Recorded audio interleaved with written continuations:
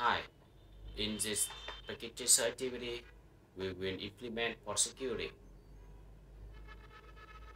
Firstly, we will configure port security to allow to restrict a port's ingress traffic by limiting the MAC addresses that are allowed to send traffic into the port. And then we will verify the operation of the port security feature. As you see on the screen, we have a topology. Uh, we have a switch one connect to the two, two PC of the staff in the company. And a rogue laptop of a hacker. And to protect uh, the network, we will enable the uh, security feature on switch 1 and if the rogue laptop connect to switch 1 the traffic uh, should be denied. So firstly we will enable the port security feature on switch 1 on uh, the two fast ethernet port. To do that we enter the configuration mode. Interface range.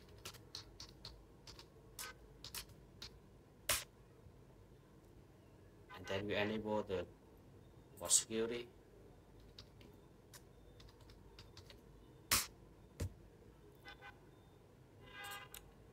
next we will uh, set the maximum uh, of uh, MAC addresses can be learned on those ports.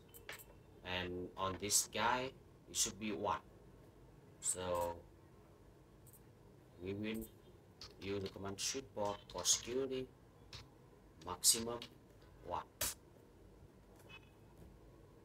and then we will secure the ports so that the MAC addresses of a device is dynamically learned and added to the running configuration on switch 1 to do that we use the command switchport port security.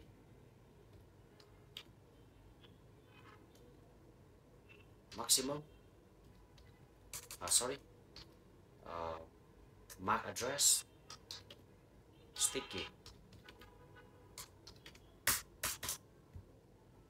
So after this command, we should generate the traffic uh, from PC1 to PC2 and the sheet 1 will get the MAC address and add it to the running configuration. I use uh, a simple PDU and pin from PC1 to PC2 and then I show the configuration running configuration. To show run. You see? This MAC address is a PC1 and it's, this one is a PC2.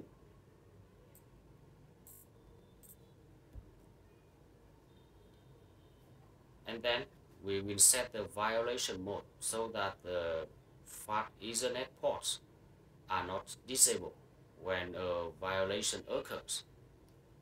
But a notification of the security violation is generated and packets from the unknown source are dropped. So we will use a switchport switchport port security violation. We have three modes. The protect mode. This mode, the port should be dropped on the packets, but no notification is sent to the uh, administration. The restrict mode, the port is blocked, but a notification is sent to the administrator. And the shutdown mode, the port is shut down. And on this activity, we will use a restrict mode.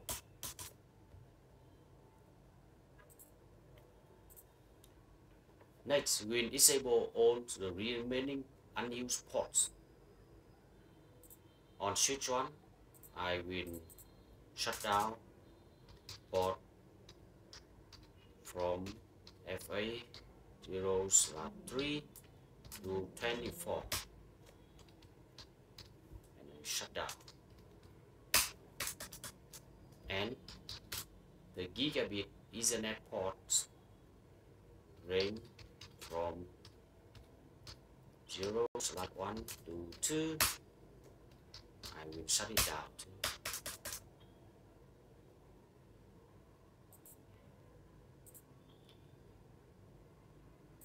and we should save the configuration by using the command do copy run start.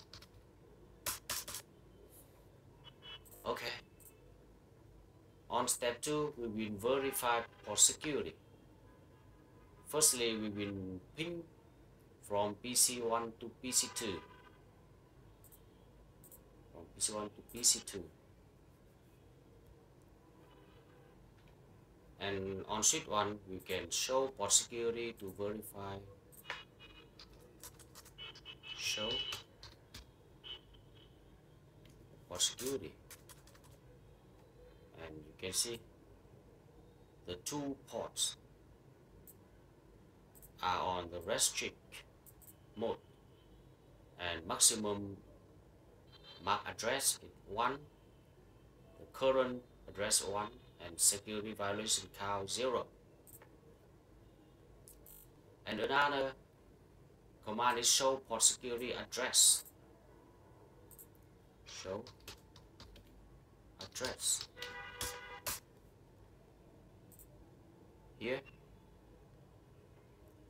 The uh, address MAC addresses uh, PC1 and PC2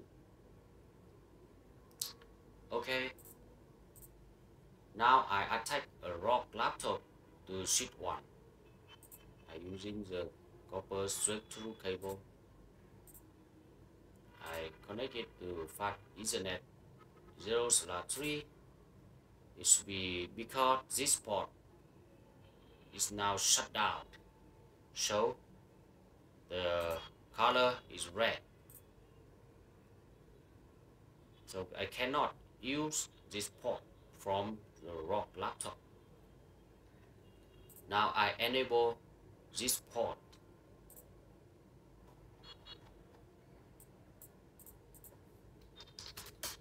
Interface FA0 slot 3 no shutdown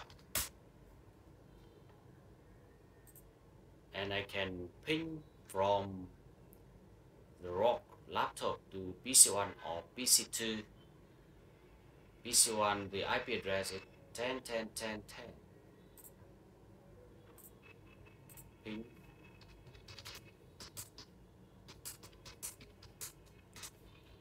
you see I get the reply from PC1 because the hacker cannot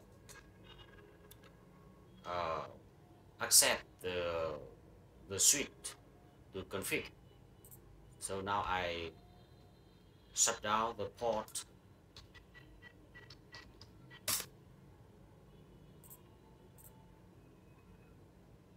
And then I unplug the cable of PC2 I delete it first. Delete. And then I use the through cable and connect it to the fast ethernet 0 slot 2 and on the rogue laptop I ping to PC 1